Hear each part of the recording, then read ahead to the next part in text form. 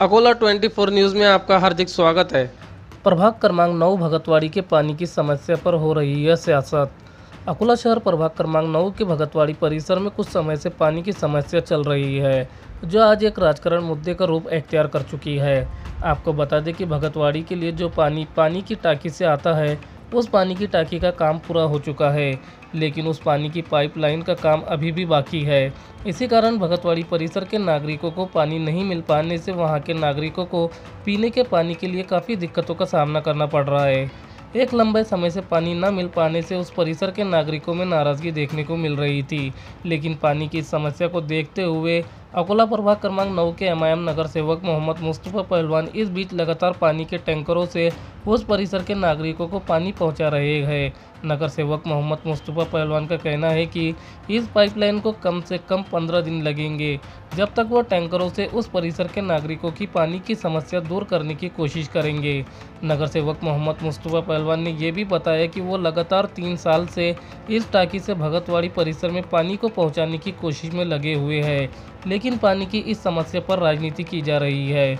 नगर सेवक मोहम्मद मुस्तफ़ा पहलवान ने उस परिसर के नागरिकों को आश्वासन दिया है कि वो जल्द से जल्द उस परिसर के पानी की समस्या को दूर करेंगे। अकोला 24 न्यूज़ के लिए फरहान शेख और सैयद सिमरान की रिपोर्ट। आज हम ये जो लगातार हम तीन साल से, साढ़े तीन साल से जो पानी के टाँकी के लिए मेहनत कर रहे थे, अल्लाह ने उसका फल देने का मौका आ गया। वो टाँकी लगभग लगभग उसका पूरा काम पूरा हो गया। इसके अंदर हमको महापर मानपा प्रशासन ने, अकोला महानगर पालिका प्रशासन ने भी हमको पूरा साथ दिया। और जो किला की जो मेरा खाप था पिछली बारी में चुनके आने के बाद का, चाहे कुछ भी जाए, मेरे प्रभाग में मैं पानी की टाँकी लाने की कोशिश करूँगा।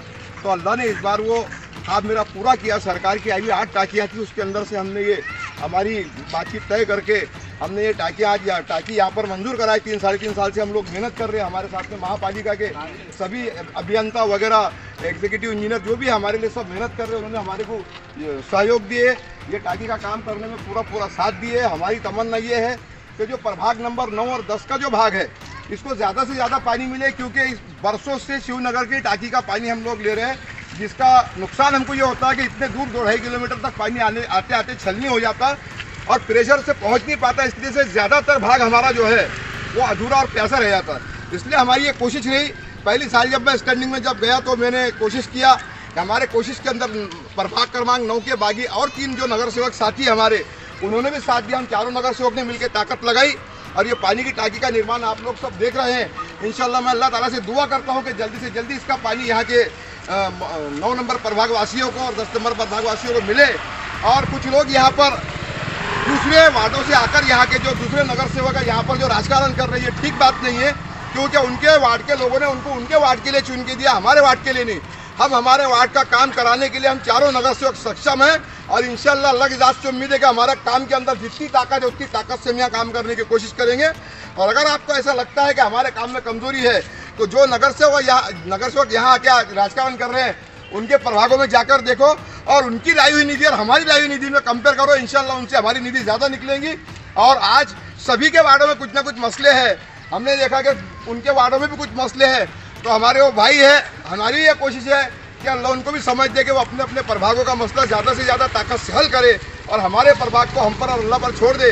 अल्लाह ताला की ज़ात से उम्मीद है कि मैं पूरी ताकत से सक्षम हूँ। मेरे साथ में जो तीन साथी आए हुए वो भी हमारा साथ देकर हम समय समय पर वक्तन फवक्तन हम हमारे वार्डों का काम पूरा करने की कोशिश कर रहे हैं। आज अल्लाह के एहसान है कि जिस तरीके का हमारा वार्ड जब हाथ में मिला था चार साल पहले, उसमें आज में ज़मीन आसमान का फ़र्क आया हुआ है।